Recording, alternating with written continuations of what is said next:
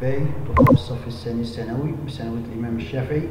معكم محبكم عبد الرحمن أبو سمرة في درس اليوم القوى داخل السوائل قوى التماسك. قوى التماسك هي قوى الجذب المتبادلة بين جزيئات المادة الواحدة وبعضها البعض. أي بين جزيئات السائل وبعضها جزيئات الإناء وبعضها البعض.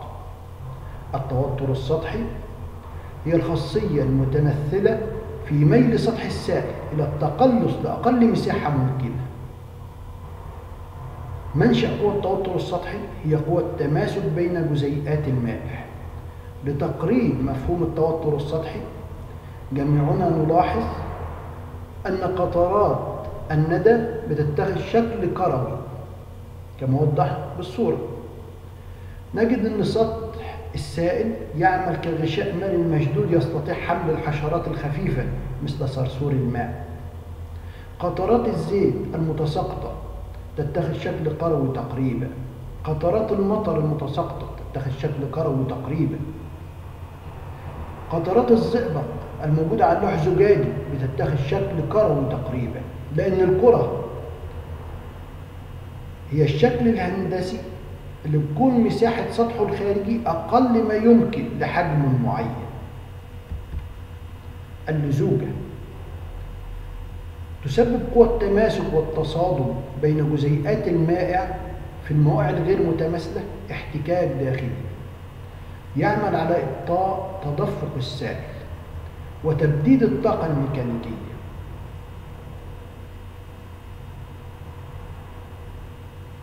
فالماء سائل لزوجته منخفضة بينما زيت المحركات سائل ذو درجة لزوجة عالية.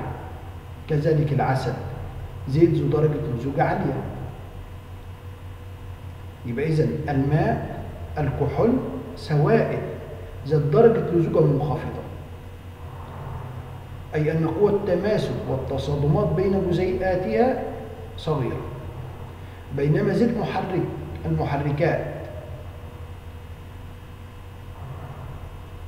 والعسل والجليسرين سواء قوة التماسك والتصادمات بين جزيئاتها كبيرة. لذا في درجة لزوجتها عالية اللابا أو اللافا اللابا أو اللافا والصخور المنصهرة. أكثر الموائع لزوجة وهذه المواد تندفع أثناء وقوع البركان قوة التماسك. قوة التماسك تشبه قوة قوة التلاصق وقوة التماسك كل منهما ما هي إلا عبارة عن قوة تجاذب كهرومغناطيسية. ولكن قوة التماسك توجد من جزيئات المادة الواحدة وبعضها.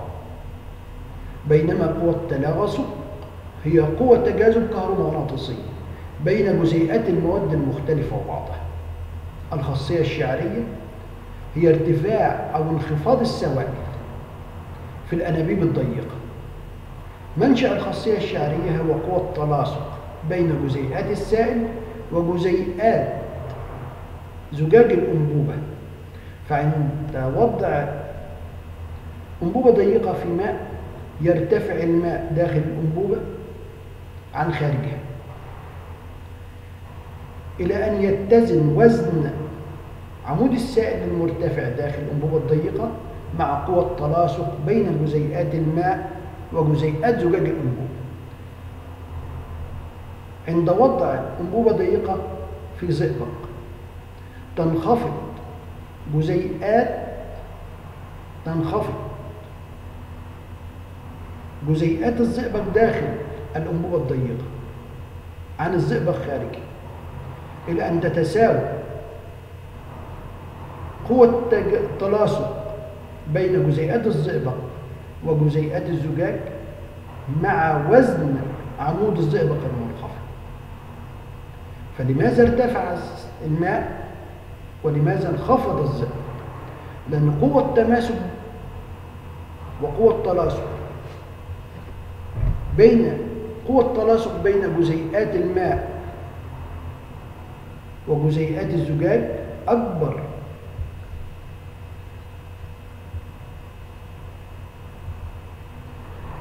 من قوة التماسك فيما بينها.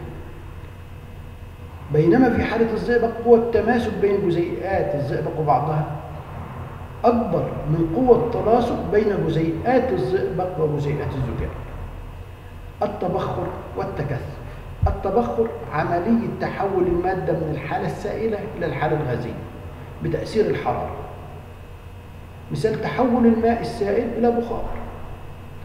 التكثف عملية تحول المادة من الحالة الغازية إلى الحالة السائلة بفقدها حرارة. مثال تحول بخار الماء إلى ماء سائل. أي أن التبخر يصاحبه امتصاص طاقة حرارية بينما التكثف يصاحبه فقد طاقة حرارية. فيحدث التكثف عندما تلامس جزيئات بخار الماء سطح